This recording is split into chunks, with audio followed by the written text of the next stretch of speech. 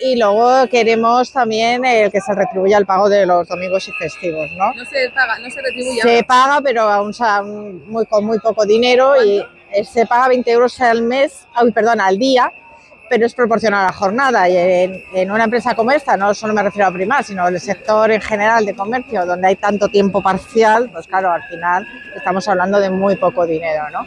Aparte de que si queremos que haya más descansos de calidad, fines de semana libres, porque es verdad que aquí hay fines de semana libres, pero queremos aumentarlos, ¿no? Porque al fin y al cabo los fines de semana es cuando la gente puede conciliar mejor la vida personal y laboral. Y entonces lo- estamos solicitando eso. ¿Cuánto, ¿Cuánto pedís de subida para los domingos? Pues mira, de domingos estamos pidiendo 60 euros. Eh, A ver, esa es nuestra propuesta, ya la negociación pues ya ¿De veremos. salarial? ¿Eh? Y a nivel salarial estamos pidiendo una subida de al menos un 6% cada uno de los años, porque el IPC está como está. Y de estos años de atrás, por efecto de la pandemia, los salarios no han subido mucho y hay que compensar y que la gente pueda mantener su poder adquisitivo, que es lo que, lo que nos está afectando a todos y a todas, como están los precios ahora mismo de los alimentos básicos. Me imagino que sobre todo son dependientes y dependientes, sobre todo mujeres. Dependientes fundamentalmente. También hay dependientes, evidentemente, pero fundamentalmente dependientes y además jóvenes, con una edad joven. ¿Cuánto cobran más o menos? Eh, pues depende. El salario lo tiene, te hablo cantidades brutas. eh, un tiempo completo anual está cobrando 17.000 euros ahora mismo, ¿no?